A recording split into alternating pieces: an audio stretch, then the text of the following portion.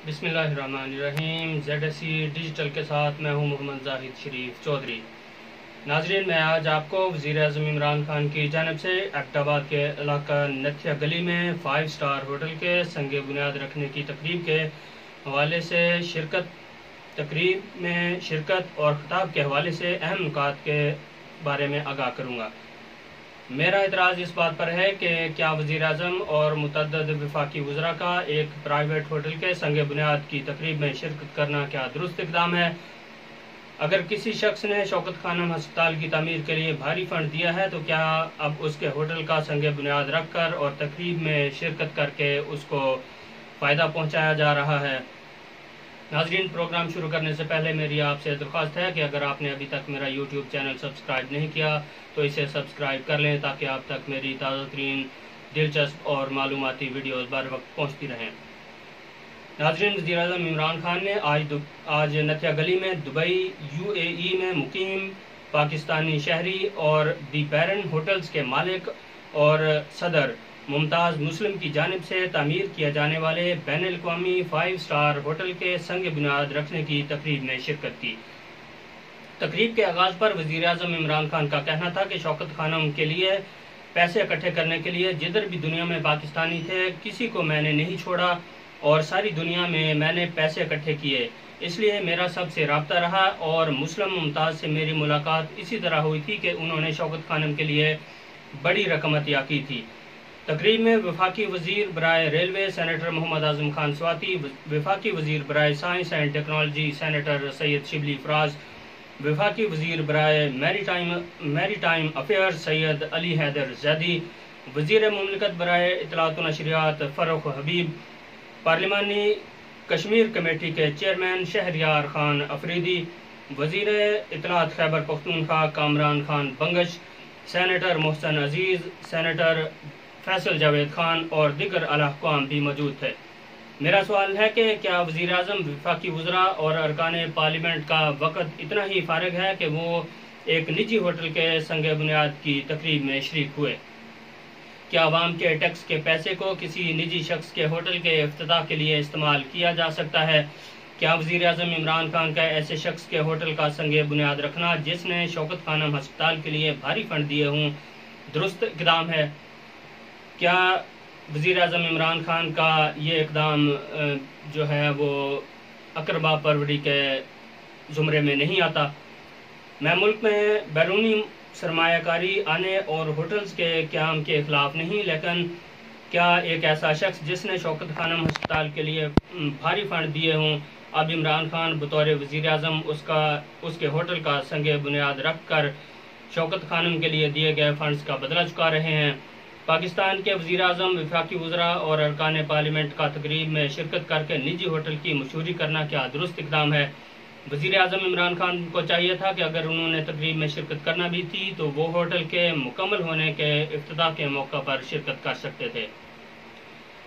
हुकूमत पाकिस्तान के सरकारी ट्विटर अकाउंट पर जारी बयान में कहा गया है कि पाकिस्तान में सियाहत के, फ़रोग के विजन के मुताबिक वजी अजम इमरान खान ने खैबर पख्तूनखा के इलाका नथिया गली में फाइव स्टार होटल का अफ्ताह किया। होटल अढ़ाई करोड़ डॉलर्स की लागत से तमीर होगा और ये मुकामी लोगों को रोज़गार भी फ्राहम करेगा। मुस्लिम मुमताज़ मुस्लिम की जानब से हुकूमत के इस बयान को रीट्वीट भी किया गया है। मुमताज़ मुस्लिम ने गवर्नर सिंध इमरान इस्माइल की जानब से ट्विटर पर जारी बयान को भी रीट्वीट किया है, जिसमें इमरान इस्माइल ने कहा है कि मैं आप अपने दोस्त मुमताज़ मुस्लिम को नथिया गली में डबल ट्री होटल के संग बुनियाद रखने की मुबारकबाद देता हूँ। जबकि सेनेटर फैसल जावेद खान की जानब से जारी ट्विटर बयान को भी मुमताज़ मुस्लिम ने रीट्वीट किया है, जिसमें सेनेटर फैसल जावेद खान ने कहा है कि तकरीबन चार दहाइयों से जायद अरसा के बाद हिल्टन होटल्स पाकिस्तान में दाखिल हो रहे हैं, जो कि पाकिस्तान के सियाती पोटेंशियल को तस्लीम करने और हुकूमत पाकिस्तान की बैरूनी सरमाकारों को मुतवजह करने के लिए दोस्तानों, दोस्ताना पॉलिसियों पर अतमाद का इजहार है। ट्वीट में कहा गया है कि वजी अजम इमरान खान ने डबल टी ट्री होटल का नथिया गली में संग बुनियाद रख दिया है, जबकि वफाकी वज़ीर बरए maritime affairs Syed Ali Haider Zaidi की जानब से किया गया ट्वीट भी मुमताज़ मुस्लिम की जानब से रीट्वीट किया गया है, जिसमें अली जैदी ने कहा है कि नथिया गली में जो फाइव स्टार होटल बनने जा रहा है, वो भी एक पाकिस्तानी है। हमारा काम वो माहौल पैदा करना है कि बाहर बैठा सरमायाकार पाकिस्तान में अपनी सरमायाकारी करे। एक करोड़ नौकरी क्या दस करोड़ नौकरियाँ पैदा कर सकते हैं। वज़ीर अजम इमरान खान के दौरे हुकूमत में सरमायाकारी मुसलसल जारी। वज़ीर अजम इमरान खान कल नथिया गली में फाइव स्टार होटल का संग बुनियाद रखने जा रहे हैं। क्या हुकूमती वजरा और हुकूमत इतनी फारग है कि वो ट्विटर पर एक गैर सरकारी शख्स, जिसके दुनिया भर में होटल्स हैं, उन, उसके संग होटल के संग बुनियाद की, के मामला की तशहर कर रहे हैं। जबकि तकरीब से खिताब करते हुए वज़ीर अजम इमरान खान का कहना था कि मैं ये कहना चाहता हूँ कि इस वक्त मुल्क की सबसे बड़ी ज़रूरत क्या है? वो दौलत की तख्लीक है। दौलत में इजाफा करें, दौलत में जब तक इजाफा नहीं करेंगे तो नौकरियाँ नहीं मिलेंगी टैक्स कलेक्शन बढ़ेगी और इतने जो कर्जे इस मुल्क पर ऊपर चढ़े हुए हैं, वो कर्जे हम वापस कर सकेंगे। इस वक्त पाकिस्तान का मसला ये है कि हमने अपनी तारीख में अपनी एक्सपोर्ट्स बढ़ाने की कोशिश ही नहीं की। मुल्क तब अमीर होता है जब उसके पास दुनिया को चीज़ें बेचने के लिए हों। सिंगापुर की 300 अरब डॉलर्स की एक्सपोर्ट्स हैं और उसकी आबादी 60 लाख होगी, जबकि पाकिस्तान की इस मरतबा तीस अरब डॉलर्स की एक्सपोर्ट्स होंगी। मलेशिया, जिसकी छः करोड़ की आबादी है, उसकी 200 अरब डॉलर्स की एक्सपोर्ट्स हैं। वज़ीर अजम साहब, आपकी हुकूमत आए चौथा साल शुरू हो गया है और अब तक मुल्क की एक्सपोर्ट्स 25 अरब डॉलर से ज़्यादा नहीं बढ़ी, जहाँ पर नून लीग ने छोड़ी थी।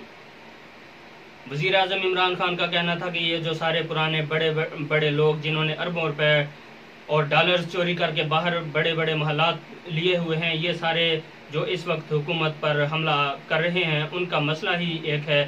ये कानून की बालादस्ती नहीं चाहते, क्योंकि ये लोग वो लोग हैं जो करप्ट सिस्टम से फ़ायदा उठाकर बैठे हुए हैं और करप्ट सिस्टम की वजह से सरमाकारी नहीं आती। ये दुबई जाकर क्यों सरमाकारी करते हैं? क्योंकि दुबई में कानून है कि किसी की ज़रूरत नहीं, कोई पैसा मांगे या रिश्वत मांगे। सारे पाकिस्तानी कराची से उठकर दुबई दुबई में पैसा लगा रहे हैं। हमने यहाँ कानून की हुक्मरानी कायम करनी है ताकि बाहर से पैसा आए, यहाँ आए। तीन साल से हम ये जंग लड़ रहे हैं और हर साल हम इसमें आगे बढ़ते जा रहे हैं। जी हाँ वज़ीर अजम साहब, आप आगे तो बढ़ते जा रहे हैं क्योंकि आपकी हुकूमत हुकूमत का चौथा साल शुरू हो गया है। और इस वक्त और वक्त के लिहाज से आप आगे ज़रूर बढ़े हैं, लेकिन तीन साल के दौरान आपने अपोजिशन को सियासी तौर पर इंतकाम का निशाना बनाने के अलावा कोई काम नहीं किया और तीन साल के दौरान अपने किसी कारकुन और वज़ीर के खिलाफ कोई कार्रवाई नहीं की। वज़ीर अजम इमरान खान का कहना था कि अगर हमने सही मानों में सियाहत पर तोज्जो दे दी तो जो हम दे रहे हैं तो पाकिस्तान का बैरूनी कर्जा हम सिर्फ़ सियाहत से उतार सकते हैं। खान साहब, आपकी हुकूमत का चौथा साल शुरू हो गया है और अभी आप कह रहे हैं कि हम सियाहत पर तोज्जो दे रहे हैं।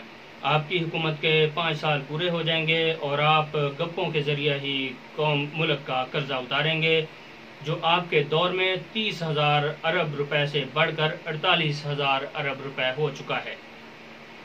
वज़ीर अजम इमरान खान का कहना था कि मैं होटल के संग बुनियाद रखने की तकरीब में आया हूँ कि मैंने ही मुमताज़ मुस्लिम को चार पाँच साल साल कबल कहा था कि आकर नथिया गली में रिजॉर्ट बनाओ।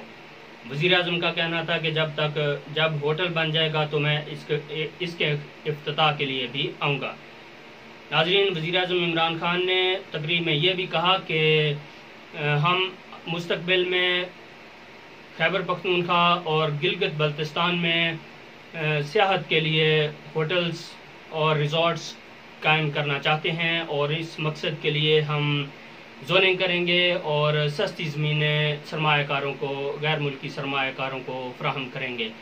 उनका कहना था कि मुमताज़ मुस्लिम कह रहे हैं कि 50 साल 100 साल की लीज़ होनी चाहिए, जबकि मैं कह रहा हूँ कि 50 साल की लीज़ होनी चाहिए। तो नाजरीन, क्या वज़ी अजम इमरान खान जो लोगों को, गैर मुल्की सरमाकारों को, होटल्स के और रिजॉर्ट्स के क्याम के लिए जगह, सरकारी जगह, लीज़ पर, कम नरखों पर फ्राहम करेंगे। क्या ये शफाफ तरीके से, बिडिंग के ज़रिए हर किसी को फ्राहम की जाएगी या सिर्फ़ आप अपने ख़ास दोस्तों और अकरबा परवरी का मुजाहरा करते हुए अपने दोस्तों को ही नवाजेंगे? उम्मीद है नाजरीन आपको मेरा ये प्रोग्राम पसंद आया होगा। प्रोग्राम देखने का शुक्रिया।